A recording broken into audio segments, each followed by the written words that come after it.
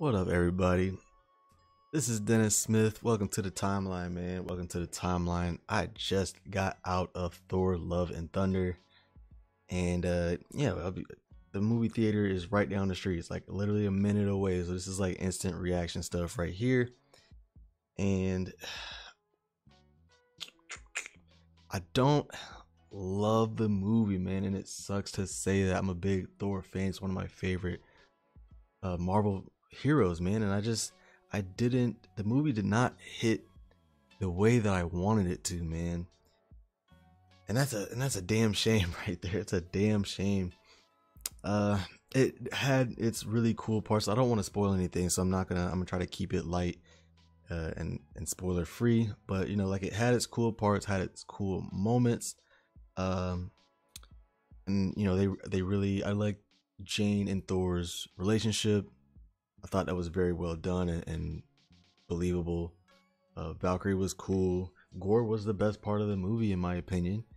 And uh, in my opinion, we did not get enough of him. That's that was the bad part. Like he was so cool, but we didn't get enough of Gorr, in my opinion. Um, you know, like Taika was saying that they tested, he tested very well. Um, tested as like the highest villain um, that they've had that the MCU's ever had, and I definitely see the potential of like why. Uh, to me, it just wasn't fleshed out enough. Um, they just they Gorr just wasn't doing enough goring in my opinion, man, and it's so sad. That's to give it the most like that's the way to say it the most spoiler free I can say it. Um, wasn't enough goring in my opinion, which is super sad. He he knew the thing. He knew the thing. but uh, the the movie is really, if, if you've seen the discourse online, like it is really jokey, and you know it sucks to like. I feel like Thor really only had like five total minutes of like seriousness, the whole entire movie that he it was all jokes. Like I, I don't like that they did that with Thor. Um, kind of makes him seem like just in like unserious, and he's a he's a god, man. Like that's why he's one of my favorites. He's a god. Like it just made him very unserious, and it's hard to take him seriously when he does have a serious moment. Like when he does have his like little moments here, it's like hard to take him seriously because they built up this got to be so jokey, like jokester. He's a jokester, and and uh, you know the whole movie was kind of like that. A lot of the characters just were very jokey, and I would have liked to have seen it be more serious.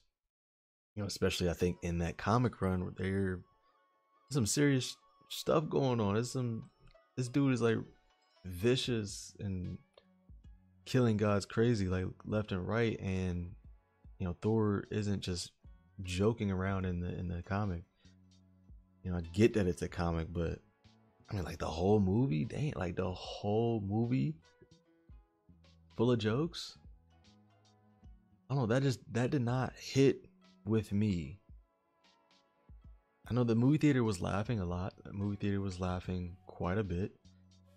And uh, of course like they they some of it was funny. A lot of it was funny actually, um, but just not what I wanted. And um, you know, the whole first and second act was just like straight jokes in my opinion. And then like the beginning of the third act, they finally like have a, a you know a bit of seriousness when they're you know Jane and Thor and, and Valkyrie about to go you know see Gorr Uh, they about to go do the thing, and there's a decision that Taika Waititi makes. Like you, you know, it's serious all the way up to this point. Like during this final act here, it's it's it's serious, and then it gets to this point, and and not, I'm not gonna spoil it, but like you know, they make a decision here, and it just didn't, it did not land with me. It was Taika doing um very Taika like things, and it didn't it took away from the movie in my opinion it, it didn't land with me uh, I rather of that whole third act just be like way more serious. And you know, this is what I kind of feared going into this movie, like them being super jokey and just everything be fun and like kind of lighthearted. And and for me, I needed Gorr to be the opposite. Like I needed scenes with Gorr to be the opposite, which you know it was. Like he had some really, he had a really good performance, uh, Christian Bale. But you know it things that they did on the other side of that, like the other side of things with like Thor and uh, Jane and Valkyrie, like took away from like the seriousness and uh vengefulness of, of Gorr, in my opinion. And uh that was just it's just a mix that didn't didn't work for me. I, it's hard to it's hard to to speak without spoiling, but you know, go ahead and check it out for yourself. Um, I'm gonna have to watch it another time again just to just to see if I'm not tripping. But this one did not land for me the way Ragnarok did. Ragnarok was a great Thor movie, even though it like had his uh, a lot of jokes in it.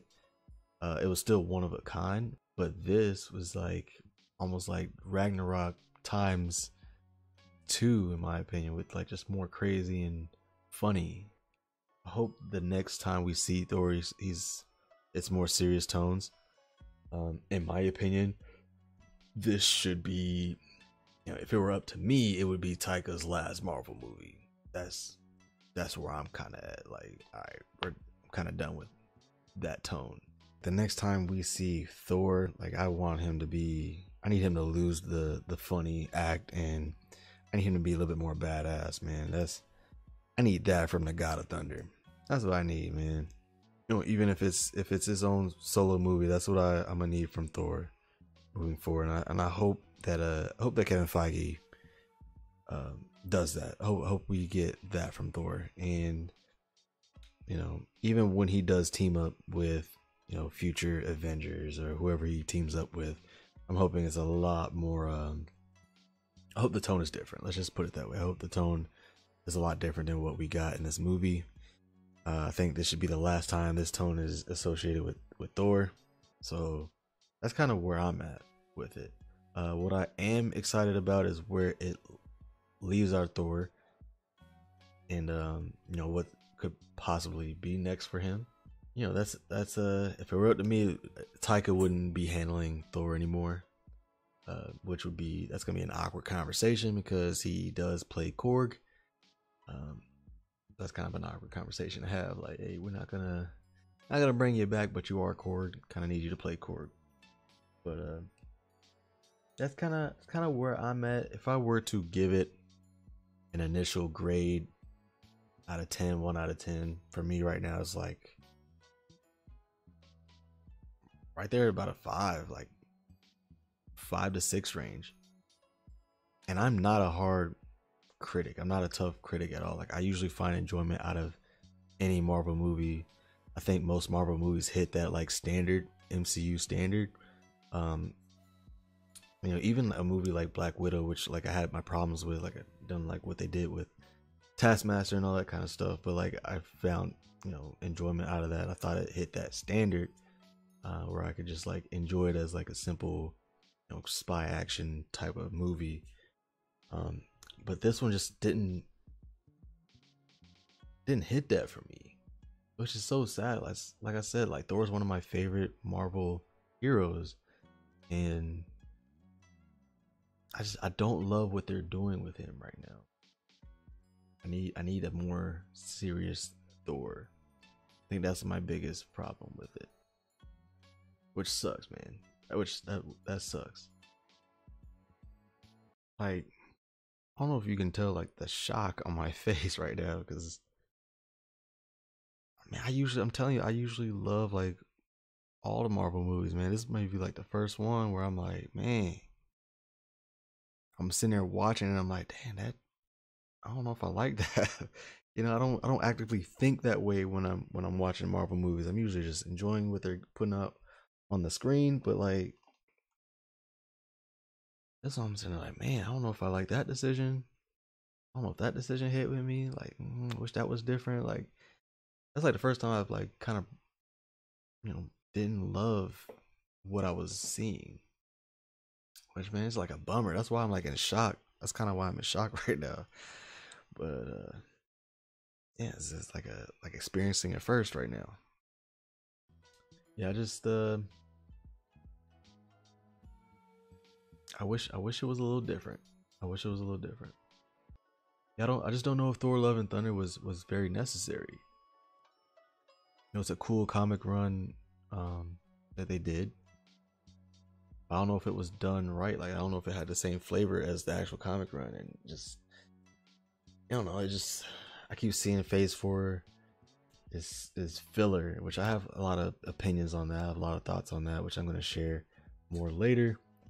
Um, but yeah, if this movie felt like filler, in my opinion, we didn't get any like you know real answers of what's going on in MCU or or um you know any real connections or anything like that. It was just a just a adaptation of a cool story in uh, in the comics.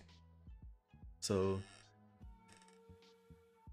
yeah, I'm, around a five or a six.